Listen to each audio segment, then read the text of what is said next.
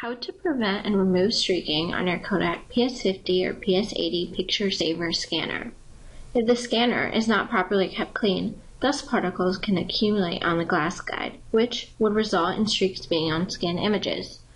Even though the service repair depot cleans and takes precaution when sending an advanced unit replacement, some particles may dislodge during shipment onto the image guide area, which could also result in streaking on the scanned image.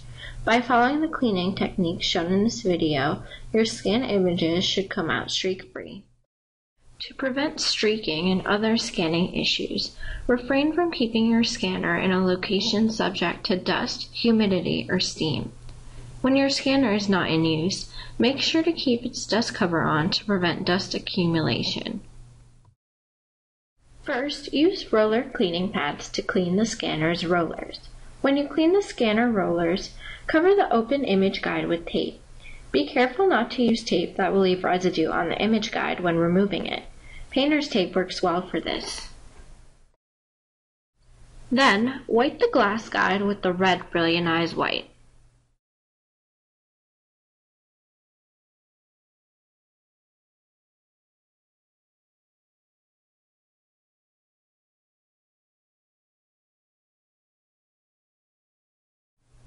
And then with the black Brillianize wipe.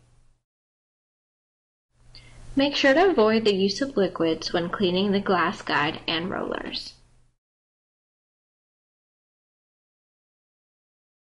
Additional cleaning tools to clean the scanner's open aperture include a painter's brush, foam brush, and a vacuum with forced air pressure.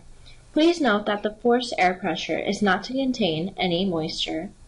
Additional cleaning tools to clean the UDDS sensor include a vacuum with forced air pressure, a foam swab, lint-free cloth, and a painter's brush.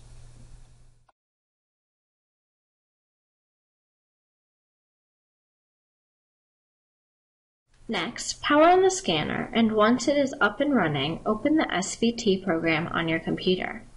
Once in SVT, select the Setup button in the upper left-hand corner of the window.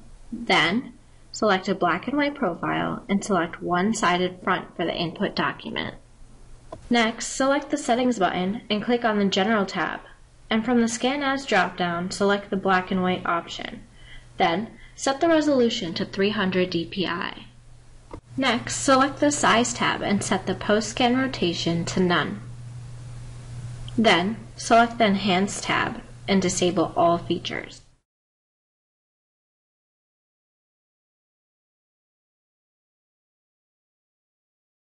Lastly, select the Adjust tab and set the conversion quality to normal ATP.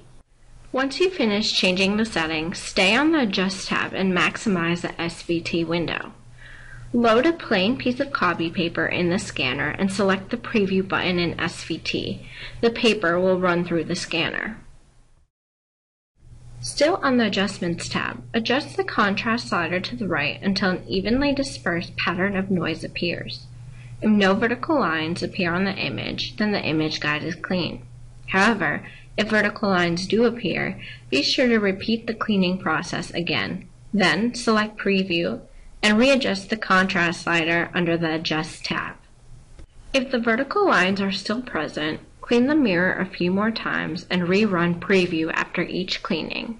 If the vertical line changes location, a dust particle is still present.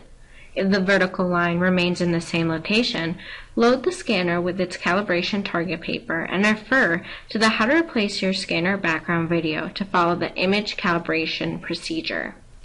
After the calibration is complete, repeat the verify streak detection procedure, and if the vertical line is still present in the same location, contact Kodak Alaris service. Make sure to repeat all necessary steps with one-sided back selected as the input document.